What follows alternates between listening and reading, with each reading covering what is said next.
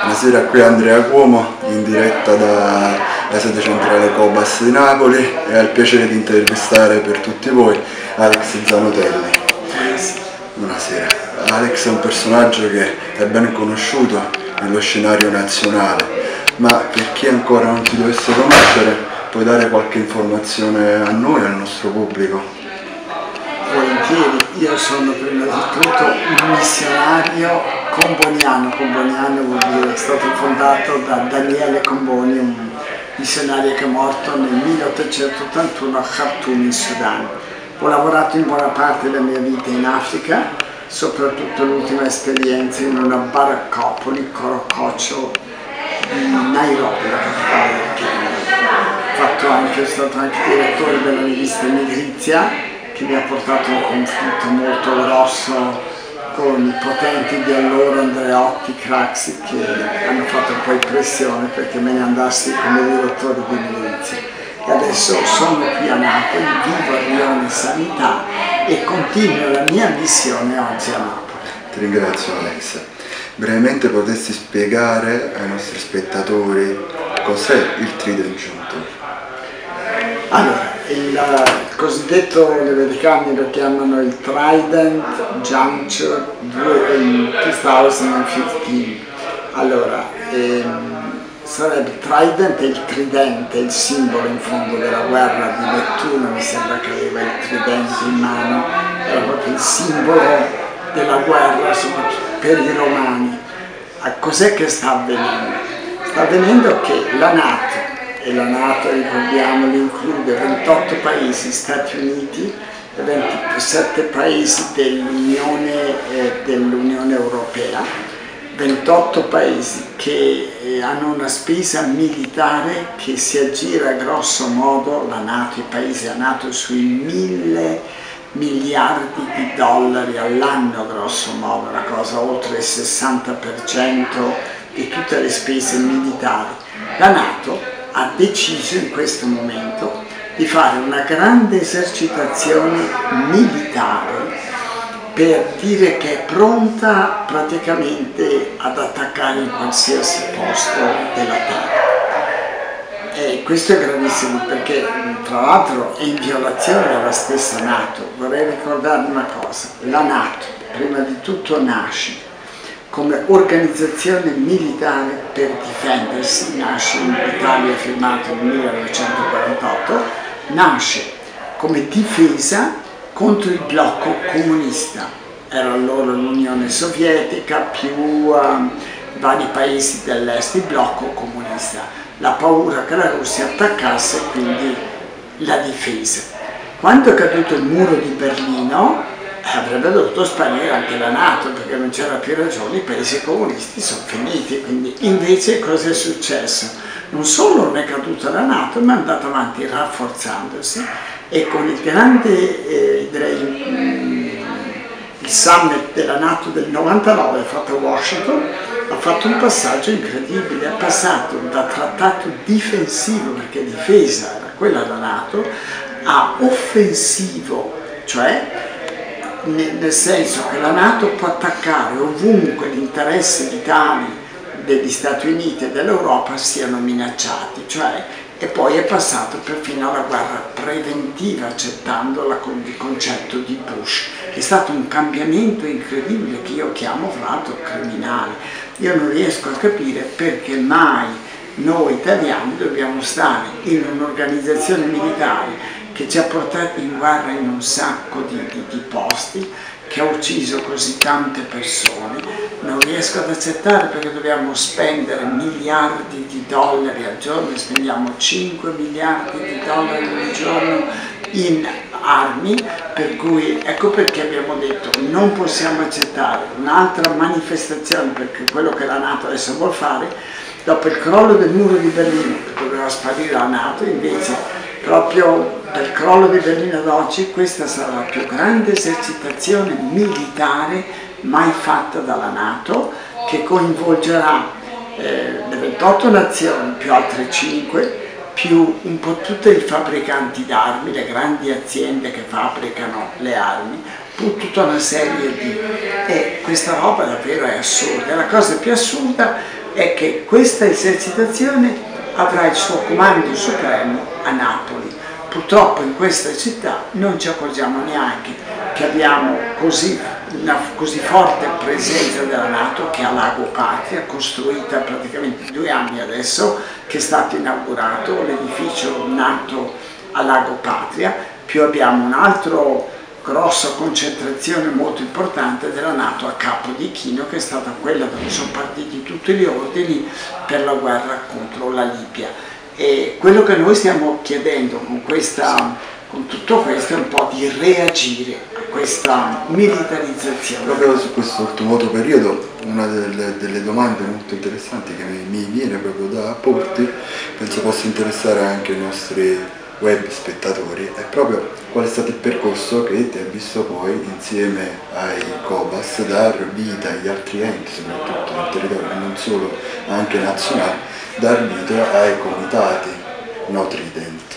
Allora, io sono eh, cercato di lavorare per la pace contro tutta questa militarizzazione del territorio da quando sono arrivato a Napoli Purtroppo a Napoli una volta c'era un bel movimento per la pace, questo periodo praticamente è scomparso tutto. Ci sono alcuni gruppetti, io faccio parte di Pace e Disarmo, abbiamo incontrato i No War, eccetera, e, ma ognuno per sé, ho detto ma non è possibile davanti a una cosa così colossale che sta avvenendo, ma perché non ci mettiamo tutti insieme e diciamo no a questa maniera di procedere, cominciamo ad aiutare prima di la gente a capire quello che sta avvenendo, perché purtroppo su Napoli sono pochissimi quelli che sanno quello che sta avvenendo. Quello che sta avvenendo è davvero assurdo. Basterebbe pensare che a livello mondiale spendiamo 1776 miliardi di dollari, abbiamo spesi tanti l'anno scorso, dati SIP 2014. In Italia spendiamo, secondo i dati SIP, che è un istituto di Stoccolma, qualcosa l'anno scorso abbiamo speso 29 miliardi di, di euro, pari a quasi 80 milioni di euro al giorno. Ma è possibile che il governo Renzi non trova soldi per la scuola, per uh, il terzo settore, per, per tutte le necessità e trova soldi per le armi? E questa è l'assurdità, la gente deve incominciare a capire questo. Vuole scuola o vuole fare la guerra? E questo è quello che noi dobbiamo portare alla gente, aiutarla a capire l'assurdità che razza di sistema ci troviamo. Ho letto prima di intervistarti anche un po' la tua biografia e ti volevo chiedere un'altra domanda dalla, dalla formazione, che dalla creazione di quella che è la rete Lilliput e da quando hai cominciato a curare il Social Forum di Firenze del 2002, posteriore di un anno al Genova G8, ecco, come poi si è evoluto il rapporto e il dialogo anche con i suoi punti di criticità, con le entità della sinistra rossa? Praticamente guarda, dobbiamo confessare una cosa, non c'è né sinistra rossa né bianca, è crollato tutto il movimento. Purtroppo in Italia tutto il movimento per la pace praticamente, prima di tutto sì c'è ancora, non è che non ci sia, ma tutto, prima di tutto la cosa più incredibile per me è la frantumazione totale fra tavolo della pace, re della pace, ehm, rete della pace, non so, no MOAS, no, ma non c'è un'incapacità a metterci insieme, a fare un lavoro insieme. Praticamente questi dieci anni della manifestazione di Firenze 2002, sì, ad oggi praticamente davvero è stato un ritiscendere. La grande manifestazione è stata davvero contro l'Iran, lì moltissima gente era scesa in piazza in tutto il mondo. Dopo quel fallimento è come se la gente avesse passato le armi, mentre dobbiamo incominciare a parlare di questi problemi. Okay. Eh, agganciandomi è stato forse un anche un po' sforzato per terminologia, però ridiscendere e ecco, si batte molto, si marcia molto per fortuna su questa lotta, questa scelta di una mobilitazione dal basso. È una funzionalità, una funzionalità, è una necessità. è una necessità. Io dall'alto non mi aspetto più nulla, per una semplice ragione, che i nostri governi oggi sono prigionieri delle banche e dell'economia, cioè non sono loro che decidono, sono obbligati a seguire quello che il sistema, chiamiamolo i potentati economico-finanziari, decidono. Per cui l'unica speranza che vedo è proprio dal basso, l'organizzarsi. A me ha fatto molta impressione il discorso che, Papa ha, fatto, che ha fatto Papa Francesco in Bolivia, a, non mi ricordo più in quale città, cui ha parlato al congresso dei movimenti popolari e ha detto non possiamo accettare un mondo che è pieno di guerre, dove c'è gente senza comprendere, gente che fa la fame, avanti di questo passo. Noi vogliamo cambiare, ma come? Mettendoci insieme le organizzazioni popolari, secondo me sono oggi, hanno una forza incredibile, però devono avere la capacità di unirsi su degli obiettivi ben precisi e premere, premere con forza. Io sono un convertito alla non violenza attiva, è stata una lenta conversione per me, ma è proprio attraverso la non violenza attiva, partendo dal basso, che si può arrivare a qualcosa. Grazie. Un, un altro paio di domande se vuoi ancora risponderci. Ecco, ehm, sabato scorso, sabato 19 settembre, era previsto qui a Napoli comunque il concerto della banda della Nato. Questo concerto è stato annullato può essere considerata una battaglia vinta dal comitato Notre Sì, noi avevamo già fatto passare parola in giro in tante maniere, volevamo fare anche una, una, una, essere presenti per dire che la Nato suona un'altra musica nel resto del mondo, una musica di guerra, non certamente in onore di San Gennaro. E invece poi è stata ritirata. Penso che chi aveva fatto questo invito ha capito che razza di, di contraddizione era caduto, per cui noi siamo ben felici che questo sia avvenuto. E, Un'ultima domanda che questa volta però vuole avvolgere un po' quello che è lo scenario più ampio della Nato, ma soprattutto della comunità europea, c'è la possibilità di creare una rete o un discorso comunque eh, che possa coinvolgere tutti i territori dell'Europa? Molto, al momento la vedo molto difficile sia perché siamo, come ho detto prima, totalmente spaccati, cioè se avessimo un unico movimento unitario che lotta contro questo, allora potremmo tentare.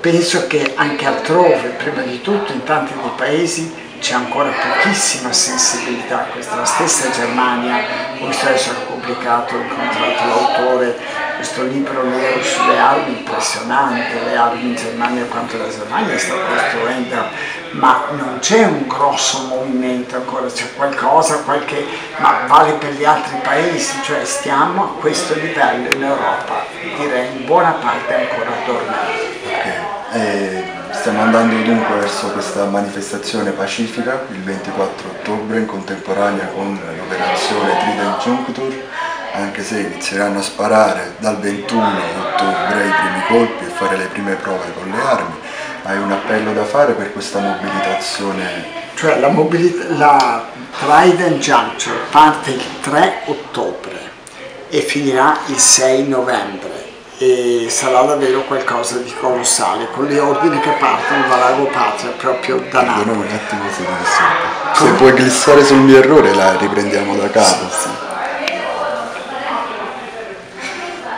il 24 ottobre ci sarà la manifestazione qui a Napoli già, già aggiornata, potresti dare un appello ai nostri spettatori? Sì, allora io direi prima di tutto un invito serio a tutti a venire a partecipare a questa manifestazione. Abbiamo scelto il 24 ottobre perché nel bel mezzo di, quel, di questa eh, esercitazione militare che parte il 3 ottobre e faremo qualcosa, quasi certamente faremo una piccola manifestazione al Lago Patria davanti proprio alla, alla base NATO e vorremmo consegnare anche una lettera per dire il nostro disaccordo al comandante supremo NATO. E, e quindi è un solo per prepararci invece al 24 ottobre dove noi inviteremo qui a Napoli un po' tutta la gente a scendere per strada e dire non ne possiamo più, ma spendiamo questi soldi in scuola, spendiamoli nel terzo settore, spendiamoli ma non ad ammazzarsi, ad ucciderci, per di più poi è importante ricordare alla gente che queste armi, queste spese in armi e queste guerre stanno pesando enormemente a livello ecologico, parte del problema della crisi ecologica è anche dovuta alle armi. La grande domanda che io pongo al popolo napoletano, ma vogliamo vivere o vogliamo morire? Io sono convinto che apparteniamo a una generazione che sarà fra le generazioni più maledette della storia umana.